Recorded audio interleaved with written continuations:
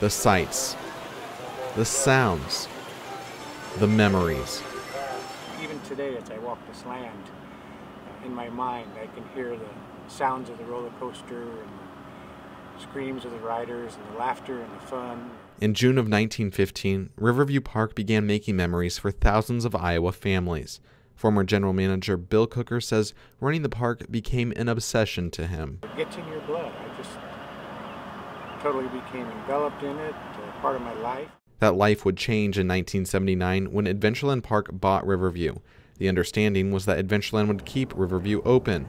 After the deal was finalized, Riverview was closed and the rides were removed. There is very little left of Riverview Amusement Park here at Riverview Island, including this piece of the old wooden roller coaster. Community members are now coming together to help preserve the park and the memories that it created. The plans include a stage bearing the name of Riverview's ballroom, the Riviera. Room Had a beautiful smooth wooden floor.